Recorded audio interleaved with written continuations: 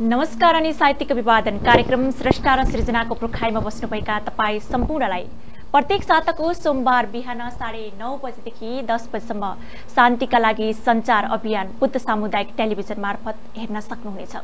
त्यसै गरी शनिबार बिहान साढे नौ बजेदेखि दस बजीसम्म कार्यक्रमको पुनः प्रसारण पनि हेर्न सक्नुहुनेछ। दर्शकबिन्द आधा घन्टाको समयावधिभर तपाईँहरूसँग साहित्यिक भलाकुसारी गर्नको लागि उपस्थित भइसकेकी छु। म तपाईँकै सुख दुःखको साथी रमा जैसी। त्यसै गरी एमसिआरमा हुनुहुन्छ विमल छेत्री।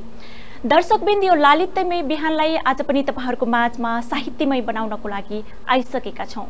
आज हाम्रो माझमा विगत लामो समयदेखि गजल कविता मुक्तक र नाटक लेख्दै आउनुभएका एकजना दिग्गज स्रष्टा हुनुहुन्छ। जन्मथलो रूपन्देहीको बुटोल भई हाल रूपन्देहीमै रहँदै आउनुभएको छ। विगत लामो समयदेखि साहित्य क्षेत्रमा अनवरक रूपमा आफ्नो कलम अगाडि बढाउँदै आउनुभएका स्रष्टा हुनुहुन्छ शङ्कर पाण्डे। तपाईँलाई कार्यक्रममा स्वागत छ। धन्यवाद। छन्दवादी समाज नेपालका केन्द्रीय अध्यक्ष समेत हुनुहुन्छ। हजुर। आज हामी छन्दसँग सम्बन्धित विशेष कुराकानी गर्ने जमर्को गर्दैछौँ हजुरसँग। हुन्छ धन्यवाद। यो छन्द एउटा जटिल लेखन कार्य पनि हो। छन्दमा लेख्नु भनेको सजिलो कार्य होइन। वास्तवमा यो छन्द भनेको के हो त? सरल भाषामा। छन्द भनेको सरल भाषामा भन्यो भने गति यति र लयको सम्मिश्रण नै छन्द हो। खास गरी हुन त आध्यात्मले के भन्छ भने पुरै संसार नै छन्दमय छ। छन्द बिना संसार चल्दैन। हाम्रो हिँडाइ बोलाइ खवाइ लवाइ हरेक चाहिँ छन्दमै छ। त्यसलाई भाषागत रूपमा साहित्यिक विधातर्फ छन्दलाई एउटा सूत्रात्मक रूपमा सूत्रबद्ध गर्ने कार्य नै छन्द हो जसमा गति हुन्छ यति हुन्छ अनि लय विधान गरिएको हुन्छ त्यो नै छन्द हो। जुन तपाईँले विगत लामो समयदेखि जुन छन्दवादी समाज नेपालका केन्द्रीय अध्यक्षको भूमिकामा रहँदै आउनुभएको छ। बैसठी सालदेखि यो संस्थाको यो गठन गर्नुभयो। त्यसपछि छन्दसँग सम्बन्धित विभिन्न कार्यहरू पनि गर्दै आउनुभएको छ। यो छन्दको उत्पत्ति कसरी भयो त? सामान्यतया छन्दको उत्पत्तिलाई प्राचीन कालदेखिको हेर्ने हो भने भगवान् शिवजीको डमरुबाट छन्दको उत्पत्ति भएको मानिन्छ। अनि यसलाई व्यवस्थित गर्ने काम चाहिँ आचार्य पिङ्गलले गर्नुभएको छ। उहाँले आफ्नो पुस्तकमा एक अक्षरीदेखि लिएर छत्तिस अक्षरीसम्म चाहिँ नि छन्दहरूलाई छन्द विधानको रूपमा चाहिँ राख्नुभएको छ। र छन्द सरसर्ती हेर्दा हामीले सुन्ने पढ्ने गरेका छन्द अत्यन्त न्यून छन् थोरै छन्। तर पनि छन्दलाई उहाँले एक करोडभन्दा बढी चाहिँ छन्द छन् भनेर चाहिँ उहाँले पुष्टि गर्नुभएको छ आफ्नो। काव्यमा। र छन्दको उत्पत्तिलाई शिवजीकै डमरुदेखि या माता राजा भान सलगा भन्ने एउटा सूत्रमक रूपमा त्यसलाई चाहिँ नि विधान गरिएर त्यसैबाट नै चाहिँ छन्दको प्रादुर्भाव भएको हो भन्ने मान्यता छ। जुन तपाईँले एक करोडभन्दा धेरै छन्दहरू रहेका छन् भन्नुभयो नेपाली साहित्यमा यो संस्कृतबाट साहित्यमा, समग्र साहित्यमा। यो संस्कृतबाट नेपालीमा आयत भएको। जुन यो एक करोडभन्दा धेरै छन्दहरूमा मध्येमा नेपालमा प्रचलित रहेका छन्दहरू कुन कुन छन्दहरू अहिले नेपालमा खास गरी करिब करिब दुई सयवटा छन्द जति चाहिँ नि प्रचलनमा रहेका। त्यसमध्ये पनि लेखनका दृष्टिले हेर्ने हो भने बाह्र पन्ध्रवटा छन्दहरू चाहिँ मुख्यतया लेख्ने गरिन्छ। जुन एउटा चाहिँ अब नेपाली मौलिक छन्द नै छ लोक छन्द त्यो बाहेक शास्त्रीय छन्द अन्तर्गत अनुष्टुप छन्द त्यसै गएर शिखरिणी मन्दाक्रान्त द्रुत विलम्बिता मालिनी उपेन्द्र वज्र इन्द्र वज्र उपजाति यी छन्दहरूमा अत्यधिक रूपमा कलम चलाइएको पाइन्छ। यिनी छन्दहरू नेपाली साहित्य जगतमा अत्यधिक रूपमा चाहिँ प्रचलनमा रहेका छन् र अहिले स्रष्टाहरूले पनि खास गरी कलम चलाउने छन्द भनेकै यिनै मुख्यतया यिनै हुन्। अन्य छन्दहरूमा कतिपय उदाहरण दिनका लागि केही छन्दहरू चाहिँ रचना गरिएका छन् तर त्यो त्यति आम मानिसमा आम स्रष्टामा चाहिँ पुग्न सकेको छैन अथवा चाहिँ त्यसमा कलम चलाएको छैन। जुन अहिले यो साहित्यिक कार्यक्रमलाई साहित्यमय बनाउनको लागि तपाईँको मुखा र बिन्दबाट एउटा रचना सुन्छौँ। हस् हुन्छ। कुन छन्दमा सुनाउँदै हुनुहुन्छ? पहिलो चाहिँ नि म अनुष्टुप छन्दमै एउटा सुनाउँछु किनभने सबैभन्दा सरल लेख्न पनि। र चाहिँ नि हामीले सुन्दै आएका अधिकांश कविताहरू अनुष्टुपमै छन् र संस्कृत साहित्यका पनि। अधिकांश अनुष्टुप छन्दमै लेखिएका छन्। मैले एउटा अनुष्टुप छन्दको भ्रष्टाचार भन्ने शीर्षकको कविता म यहाँ सुनाउन चाहन्छु। न धर्म भो यहाँ सुन्ने पाप पुण्य समान छ। उस्तै मति उही पारा मान इमान समान छ। यो तपो भूमि पहिलेको साह्रै विकृतग्रस्त छ। देशवीरहरूको यो अहिले भने अशक्त छ। यता जाल उता जाल जालै जाल बगाल छ। छि भ्रष्टाचारले देश के गर्नु खै बिहाल छ। बेचिन्छन् पितृका हंस बेचिन्छन् कुलदेवता बेचिन्छन् मातृका साडी नारी यौवन अस्मिता। बेचिन्छन् राष्ट्रका सीमा ती नदी भाउलाउँछन्। द्रव्यमा र्याल काट्नेले जिन्दगी दाउलाउँछन्। देशैभरि छ बिग्रिएको स्वरूपा छन् छलछामको दिउँसो रामको नाम रातिमा दामको पा दाम पापको। चाहे हो सिंह दरबार चाहे साना प्रशासन भ्रष्ट नै भ्रष्ट देखिन्छन् गरे जस्तै पदासन। भ्रष्टता कुर्लियो साह्रै कलम कान्ति गर्दछु। आमा तिमी नरो भो त्यो भ्रष्टाचार लखेड्दछु भ्रष्टता लखेट्दछु लखेड्दछु बज्रिन्छु जीवन माटो यो नदी दिन बचाउँछु चन्द्र सूर्य झन्डाको महिमा गीत गाउँछु म रहन्छु तबै मात्र यो जहिलेसम्म देश छ चिन्छ संसार मैलाई यो जहिलेसम्म भेष छ खास गरी चाहिँ भ्रष्टाचारले लिप्त हाम्रो समाजलाई चाहिँ नि व्यङ्ग्यात्मक रूपमा र हाम्रो देशलाई चाहिँ नि नदी नालालाई बेच्ने दलालहरूका विरुद्धमा चाहिँ यो कविता लेखिएको छ। सुन्दर शब्दहरू र सुन्दर भावको संयोजन मिठास कोमल शब्दहरूको प्रयोगले कविता बन्छ मिठो कविता सुनाउनु भयो धेरै धेरै धन्यवाद। धन्यवाद छ शङ्करजी यो तपाईँ छन्दवादी समाजको अध्यक्षको नाताले केन्द्रीय अध्यक्षको नाताले अहिलेसम्म यो छन्दसँग सम्बन्धित के के कार्यहरू गर्दै आउनुभएको छ त? खास गरी अहिले गरेका कार्यभन्दा पनि सुरुमा गठन र त्यसले गरेका कार्यहरूलाई म चाहिँ अलिकति प्रस्ट्याउन चाहन्छु।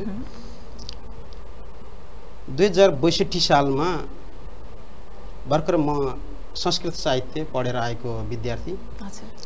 दाङमा चाहिँ रहेको। त्यतिखेरको महेन्द्र संस्कृत विश्वविद्यालय अहिले चाहिँ नेपाल संस्कृत विश्वविद्यालय।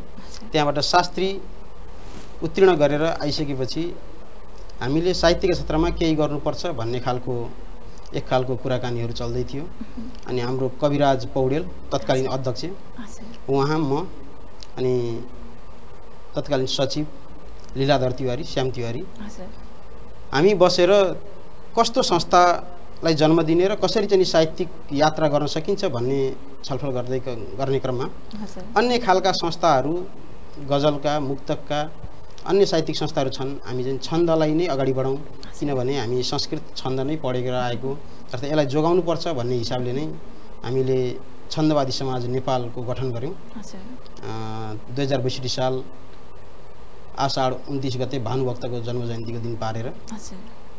त्यसपछि हामीले विभिन्न विद्यालयहरूमा त्यतिखेर हामी नजिकैका विद्यालयहरू अ, मा गएर छन्द सम्बन्धी प्रशिक्षणहरू विद्यार्थीहरूलाई दिने काम गऱ्यौँ।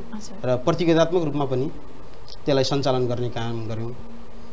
र यसलाई अब केन्द्रीय संस्था भएको हुनाले यसका शाखाहरू पनि निर्माण गर्नुपर्ने भएको हुनाले हामीले विभिन्न जिल्लामा गएर कपिलवस्तुमा नवलपरासीमा सेङ्जामा पाल्पामा दाङमा लगायतका जिल्लाहरूमा हामीले शाखा विस्तार गर्ने कार्यहरू गऱ्यौँ र त्यहाँ पनि गएर त्यहाँका विद्यालयहरूमा छन्द सम्बन्धी प्रशिक्षणहरू दिने कार्य गऱ्यौँ र खास गरी साहित्यकारले प्राप्त गर्ने भनेको लेखनबाट उसको वृत्ति विकास हुन सक्दैन अथवा आर्थिक उपार्जन हुन सक्दैन।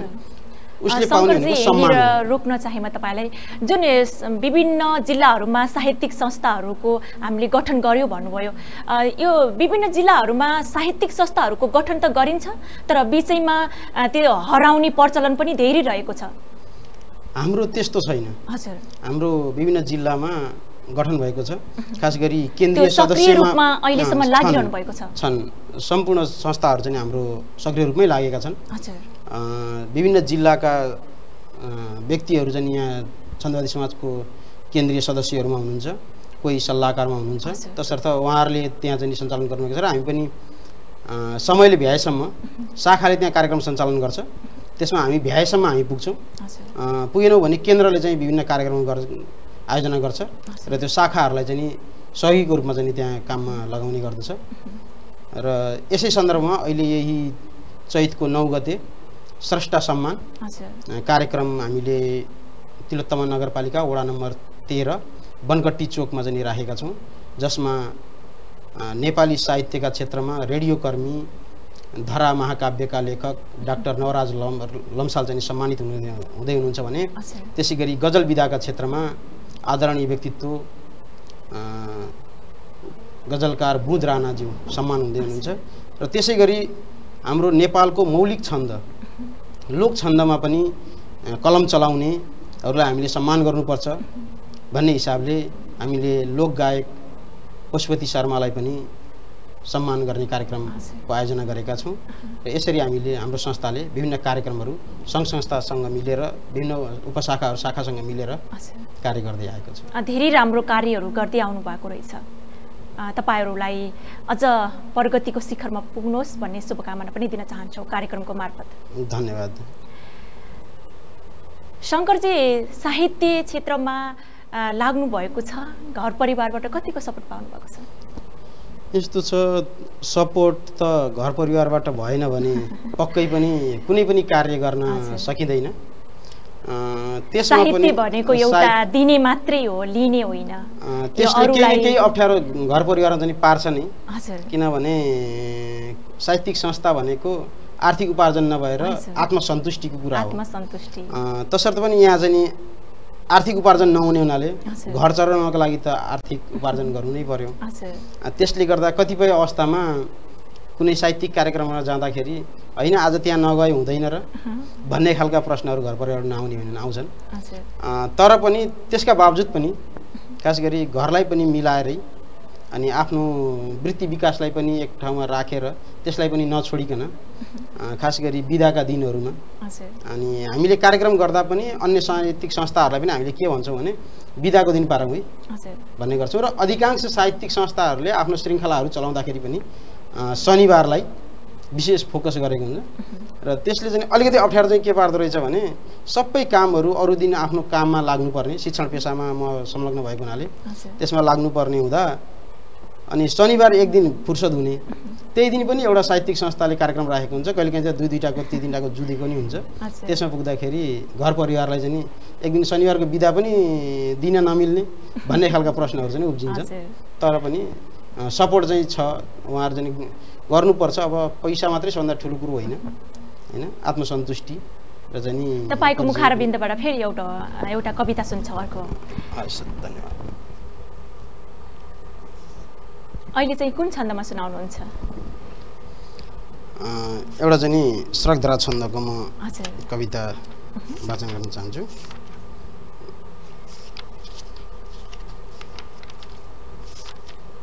कविताका पङ्क्तिहरूले डायरीहरू सजिएका छन्। सुन्दर भावहरू बोकेका। उस्तै छन् व्यर्थ भाव स्थिति गति लय। सन्देश उस्तै छ मेरो। झुत्रो फेरौँ सिलाउँ म अपितु। कसरी भेष उस्तै छ मेरो। पीडा तडपाई उस्तै जिनतिन जिउने शेष उस्तै छ मेरो। कालो धन्दा उस्तै गुपचुप बखडा देश उस्तै छ मेरो। मेची दुख्दैछ थोरै पर छरपटिँदै लुम्बिनी रुन्छ उस्तै कोही कोहीलाई गुहार्दै टनक पुर धरधरी रुन्छ उस्तै। कल्ले हेर्ने फुलेको दमित समयको केश उस्तै छ मेरो। पाखण्डीकै मजाले जय जय गरिने देश उस्तै छ मेरो। एउटाले लुट्न खोज्ने तर अरू लुटिनेको छ सङ्घर्ष उस्तै। जाली धुर त्यहीँ उस्तै छ अधम जनको नग्न आदर्श उस्तै। थाल्यो हिँड्नै कि उतनै निरलुट पुटिने ठेस उस्तै छ मेरो। रोएको केही पुकारी धर धर बिचरा देश उस्तै छ मेरो। पापाचारीहरूको हर दिन घुइँचो को छ उत्कर्ष उस्तै। खै केही छैन नौलो मुलुक छ बिच्दै वर्षकै वर्ष उस्तै। मर्दा कोही भोक भोकै भयो तमरिसवा द्वेष उस्तै छ मेरो। मागेरै मात्र चल्ने थिए थियो जिउने देश उस्तै छ मेरो। यो चाहिँ नि छन्दको कविता। मिठो कविता वाचन खास गरी नेपाल चाहिँ नयाँ नेपाल भनेर चाहिँ सबैले भनिरहँदा हामी बैसठी त्रिसठीको आन्दोलनमा समेत सरिक भएर। नयाँ नेपाल गराउने योजनाबद्ध रूपमा चाहिँ साहित्यिक कार्यक्रमहरू विभिन्न लिएर हामी चाहिँ निस्किएका थियौँ। तर पनि आज पचहत्तर सालसम्म आइपुग अब चाहिँ हामी पचहत्तर सालको सङ्घारमा छौँ। हजुर। यतिखेरसम्म आइपुग्दाखेरि पनि देशमा कुनै पनि नयाँ नौलोपन केही देखिएको छैन। सबै जुन पुरानै थियो उस्तै छ। तर पनि मानिसले नयाँपन आएको छ भन्ने चाहिँ नि भ्रम सिर्जना गरिरहेका छन्। त्यो भ्रम मात्रै भइरहेको छ। त्यसैलाई चाहिँ व्यङ्ग्य गर्न यस कविता मार्फत चाहिँ मैले खोजेको छु। धेरै राम्रो मिठो भाग बोकेको छ जुन कविताले। शङ्करजी जुन छन्दमा लेख्ने एक थरी हुनुहुन्छ भने अहिलेको समयमा थोरै मात्रामा हुनुहुन्छ छन्दमा लेख्ने। जुन छन्दविहीन मा लेख्ने पनि अहिले धेरै मात्रामा बढेको छ। छन्दविहीन जुन खुल्ला भावले लेखिन्छ त्यहाँ शब्दहरू यताउति राखिएको हुन्छ जसमा मिलाएर लेखिन्छ भने सूत्रबद्ध तरिकाले लेखिने एउटा छन्दको नियममा बाँधिएर लेख्ने एक थरी हुनुहुन्छ। जस्तो शङ्करजीहरू जस्तो छन्दवादी समाज यस्तो संस्थाहरू खोलेर छन्दलाई बचाउने अभियानमा लाग्नुभएको छ। जुन छन्दविहीन कविताहरू लेख्ने एक थरी हुनुहुन्छ धेरैको प्रचल भनाइ के छ भने छन्दमा लेख्नेहरूलाई पुरातन पुरातनवादी सोच भएको भन्ने प्रचलन पनि छ। यसलाई के भन्न चाहनुहुन्छ तपाईँ एउटा छन्दवादी समाजको केन्द्रीय अध्यक्ष हुनुहुन्छ? यस्तो हो खास गरी के हो भने हामी जुन बाटो हिँड्दैछौँ सरल र सहज होस् भन्ने। चाहनाका साथ हामी हिँड्छौँ। तर त्यसलाई दुरूह बनाउने प्रयत्न भइरहेको छ। अहिलेका हामीले गद्य कविताहरू पढ्यौँ भने सरसर्ती हेर्दा हुन त गद्य कविता पनि उत्कृष्ट छन् राम्रा छन्। शब्द संयोजन राम्रो छ। त्यसले बोकेको भाव राम्रो छ। तर पनि त्यसलाई अलिकति दुरूह बनाउने बित्तिकै गद्य कवि भइन्छ भन्ने खालको एक प्रकारको मानसिकताले गर्दा गद्य कविता चाहिँ नि रचना भइरहेको छ। र हुन त फेरि यतातिर छन्दमै लेख्ने कविहरूले पनि गण मिलाएर अलिकति दुरूह शब्दहरू राखिदियो भने वा चाहिँ नि गण मिलाएर कुनै पनि कुरा लेखिदियो भने त्यो छन्द हुन्छ भन्ने खालको छन्द भनेको खास गरी विचारभन्दा त अलिकति भिन्न हो। किनभने कविता अथवा कुनै पनि काव्यको मूल मर्म भनेको त विचार नै हो। तर पनि त्यसलाई अभिव्यक्त गर्दाखेरि श्रुति मधुरता। सुन्दाखेरि वास्तवमा आनन्द आउने खालको लेखन। छन्दमा नै हुन्छ। जुन खोला बगे जस्तै गरेर पानी जस्तै बग्न। सक्छ छन्दमा छन्दमा। बग्न सक्छ। र सानो बाल बालिकालाई पनि कुनै एउटा हामी गद्य कविता सुनाइदिउँ र हामी दुई चारचोटि उसलाई चाहिँ भन्न लगाउँ पनि। र उसलाई छन्दको कविता सुनाइदिउँ र चाहिँ नि भन्न लगाउँ। उनीहरूले छन्दको कविता तुरुन्तै भन्न सक्छन्। गद्य कविता उनीहरू भन्न सक्दैनन्। जस्तो भनौँ माधव प्रसाद घिमिरेको डाँडा काँडा चौरहरिया देखिए पालुवाले बोकी ल्यायो बकुल वनको बास मिठो हावाले। अब यहाँनिर चाहिँ सुन्दाखेरि पनि कर्णप्रिय आनन्ददायक हुन्छ भने यसलाई अब गद्य कविले अलिकति तोडमोड गरेर भन्यो भने त्यो हुन त भाव उही हुन्छ। तर पनि त्यसको श्रुति मधुरता चाहिँ छन्दमा जति आनन्ददायक हुन्छ त्यो चाहिँ गद्य कवितामा हुँदैन भन्ने हाम्रो भा शङ्करजी हामी कार्यक्रमको अन्त्य अन्त्यमा आइसकेका छौँ। कार्यक्रमको अन्त्यमा टेलिभिजन हेरेर बस्नुहुने सम्पूर्ण साहित्यिक मनहरूलाई के भन्न चाहनुहुन्छ? सर्वप्रथम त छन्दवादी समाज नेपाललाई टेलिभिजनको पर्दामा ल्याएर बोल्ने मौका दिनुभयो। त्यसका लागि म बुद्ध टेलिभिजन र अनि कार्यक्रम सञ्चालक हजुरलाई धन्यवाद दिन चाहन्छु। र छन्दमा लेख्न त्यति गाह्रो छैन। जति मानिसहरूले बाहिर व्यक्त गर्ने गर्छन् छन्दमा लेख्न गाह्रो हुन्छ। केही जुन गाह्रो सिक्न छैन। खोज्ने कोही हुनुहुन्छ उहाँहरूलाई सम्पर्क। सूत्रको माध्यम केही होला हजुरको? त्यसको लागि अलिकति अभ्यास त हुनैपर्छ कुनै पनि कार्य अभ्यास बिना त हुँदैन। यसमा य माता राज भान सलगा भन्ने एउटा सूत्र छ। य अर्थात् चाहिँ नि यगण भनेको पहिलो अक्षर रस्व त्यसपछि दुईवटा दीर्घ। यसरी मगण भनेको तिनवटै अक्षर दीर्घ। भएका शब्दहरू मिलाउने हुन्छ।